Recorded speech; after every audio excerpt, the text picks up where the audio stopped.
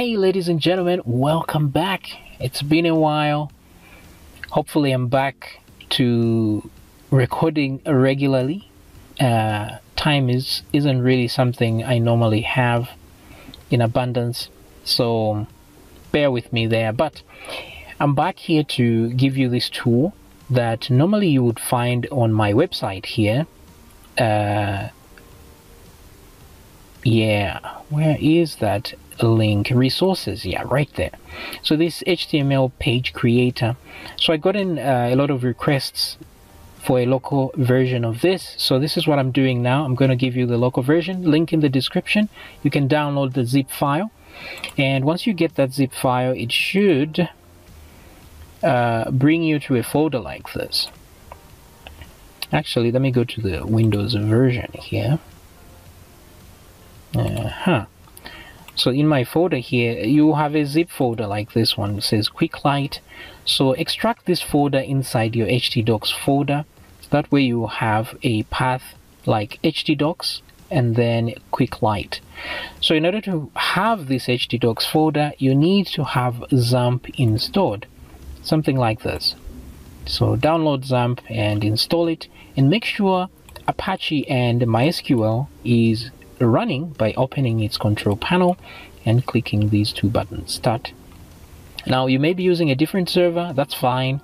For as long as you have a database mysql and apache running you should be good. So there's a folder here htdocs and then quick light. Uh, keep it like that. And then there's a database file here. So this file you have to import in your mysql just make sure that you name the database as quickcode.ui underscore db. Exactly this name here, minus the s.sql, of course. So that's what you should name it.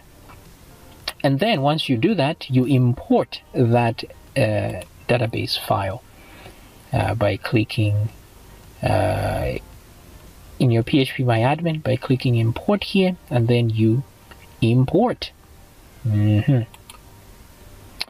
So uh, let me go back to the database. Yes, these are the tables in here, and then there's the users table. So you can edit this stuff as you wish. This is entirely owned by you now, so you can do whatever you want. You know, break stuff. Just keep the original uh, zip folder. That way you can always get back to normal. Just try and edit stuff and play around with stuff. You know, don't be scared to break things. This is how you learn to code. So there's an index folder here. In the main folder here there's an index file. This is the main file here that runs everything. So everything runs inside a frame. Uh, oh my goodness this is so much. Let me go down here for a second. I'm trying to find the the iframe itself but apparently it's so deep in there. Anyway this right runs inside an iframe. So uh, there's the includes folder that has the HTML and then inside assets and then JS this is the main JavaScript that runs everything. Like there's this actions.js uh, you can go through all this. Animator.js this is uh, what animates stuff. There's charts here there's data there's a input output IO so this is how I wrote the code in here. So you can go through this and just uh, learn one or two things from in here. And then so if we go back to this. So mostly this runs on JavaScript and then there's the API file. Sorry let me go back here. There's the inside public folder here. There's the API.php this is what loads stuff.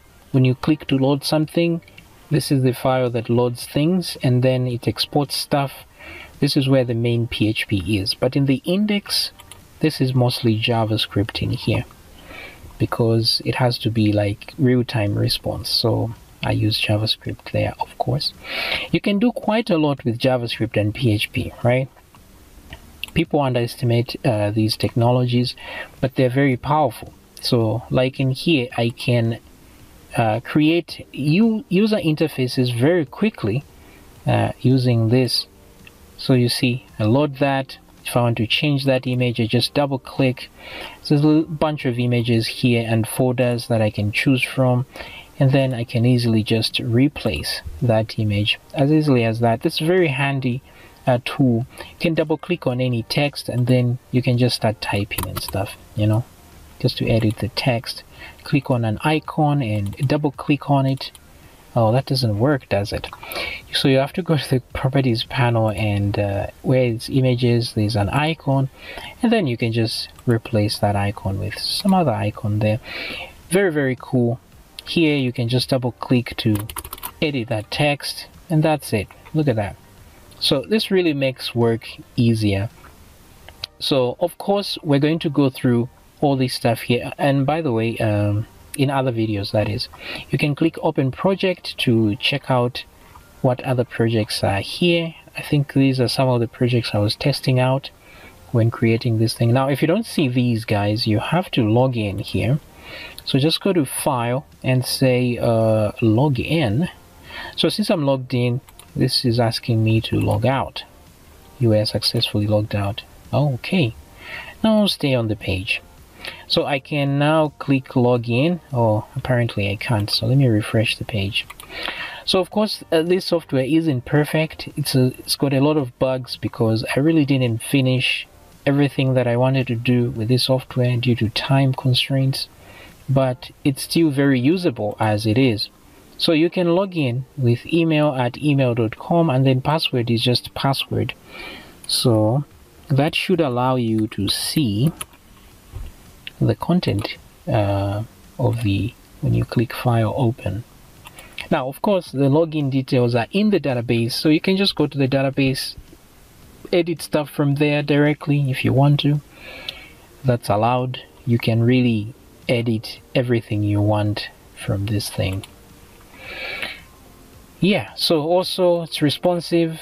Uh, you can change the screen size here but keep in mind that the responsiveness is desktop first. So what that means is whatever uh, CSS you put in the desktop will work for everything else but it doesn't work the other way around. If I put some CSS on a mobile view I will not see that when I go to the desktop view. So it takes uh, the desktop view takes priority.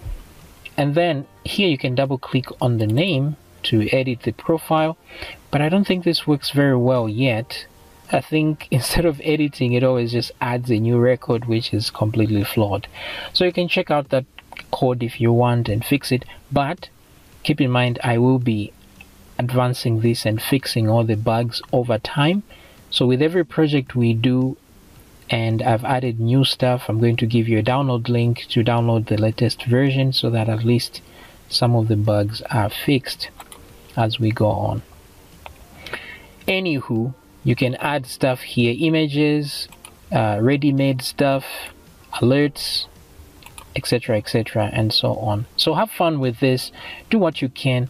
Php is very powerful combined with javascript. A lot of people think these are outdated technologies but they aren't because you can make so much um, you can really make so much stuff so I don't know if I've already mentioned that I'll be using my GitHub now to upload stuff because I can't um, I'm losing this website very soon. This is why I've decided to give this away so you won't be able to access stuff here. So if there are any downloads you want to get from this site that's freephptutorials.com you can download them now because this won't be available for much longer. Uh, I'm unable to pay for it the hosting and stuff because I I don't really get that much from uh, uh, the website or Patreon and stuff to be able to do that. So just download what you can and leave the rest and grab this. The link is in the description. That will be on the, my GitHub, so no worries about losing that. So that's okay. So very powerful technology, uh, JavaScript and PHP. So much you can do. I'll give you an, another example of some application that I made. This is some app that I created using JavaScript and PHP. Very crude stuff, but this is actually a video editor that I created. I whipped up together. Uh, you can actually edit stuff here with this you open the project file and look at that awesomeness look at that. So much you can do with PHP and JavaScript. So don't let anyone tell you this is outdated technology. It isn't. This is very powerful stuff you know? Make YouTube videos some people avoid budget airlines. Others avoid airlines altogether. Today we're counting down the top yeah look at that. So that's all created using my very own uh, video editor using PHP and, and JavaScript.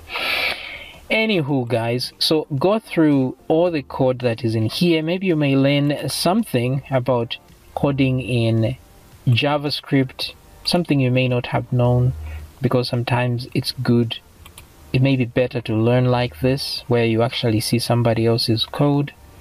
And if you have any questions about this code or what does what uh, just leave it in the comments guys. I'll I'll get to it eventually and answer your questions. Alright guys. So have fun with this. Hope, uh, hopefully it will help somebody. And I'll see you in another video